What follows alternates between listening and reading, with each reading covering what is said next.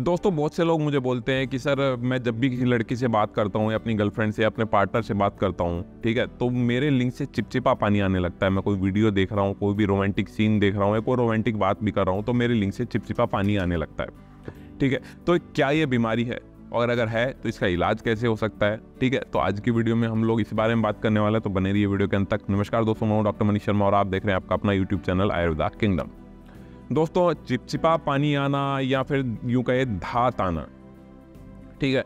ये बेसिकली ये आपके बॉडी के फ्लूड्स हैं। अगर आप किसी भी लड़की से, अपने पार्टनर से या गर्लफ्रेंड से रोमांटिक बातें कर रहे हो या सेक्सुअल रिलेटेड बातें कर रहे हो या कोई भी रोमांटिक सीन देख रहे हो तो आपके पेनिस से अगर इस टाइप का कोई लसला सा चिपचिपा टाइप का ना फ्लूड अगर सीक्रेट हो रहा है तो ये फ्लूड है, जो कि सेमिनल फ्लूड भी कह सकते हैं इसको।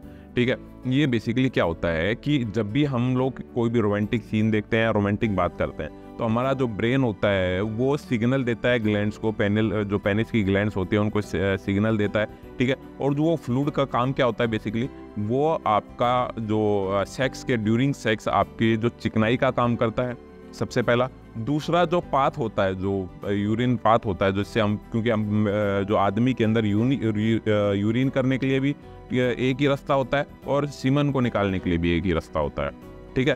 तो जो जब यूरिन आदमी करता है तो जो वो पाथ होता है, जो रास्ता होता है, वहाँ पे काफ़ी बैक्टीरियाज हो जाते हैं और साथ ही जो वहाँ का जो पीएच है, वो भी काफ़ी ज़्यादा गड़बड़ा जाता है। तो जो फ्लूड होता है, उसका काम होता है एक तो जैसा कि मैंने पहले बताया जो लुब्रिकेंट का काम करता है। दूसरा, वहाँ का पीएच लेवल है, उसको मेंटेन करता है और तीसरा, वहाँ के जो बैक्टीरियाज होते हैं, उनको ख़त्म करता है ताकि वो जो रास्ता है जो सीमन होता है हमारा या फिर जो शुक्राणु जो होते हैं, ठीक है, उनके लिए सर्वाइवल के लिए ईजी रहे, ठीक है। और चौथा, उसका जो मेन फ़ंक्शन होता है, वो होता है जो हमारा शुक्राणु जो होते हैं स्पर्म जिनको हम कहते हैं, उनके साथ मिलके वो सीमन का निर्माण करता है, ठीक है।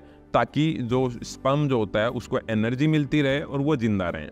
ठीक है? तो अगर आपको कोई भी आदमी ये बात बोल रहा है कि मैं आपको चिपचिपा पानी की का इलाज दूँगा या चिपचिपा पानी आपका बंद कर दूँगा तो भाई साहब समझ जाना वो आपका बना रहा है उल्लू।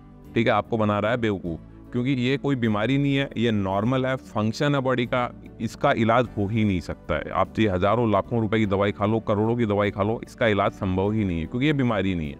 हाँ अगर आपको बिना बात किए भी चिपचिपा पानी आ रहा है, आप बात नहीं करो नॉर्मल एक नॉर्मल इंसान से ही बात कर नॉर्मल दोस्त से बात कर या बैठे हो, अपना घर का काम कर रहे हो, पेशाब कर रहे हो, उसमें चिपचिपा पानी आ रहा है तो ये बीमारी हो सकती है। तो ये बीमारी है।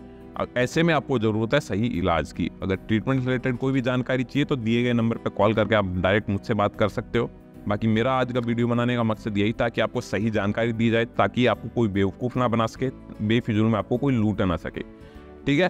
तो अगर आपको वीडियो बनाने का मेरा मकसद सही लगता है तो इसको लाइक ज़रूर करें मेरे प्रयास को ताकि ज़्यादा से ज़्यादा लोगों तक मेरी बात पहुँच सके ज़्यादा से ज़्यादा लोगों का जीवन में बचा सकूँ।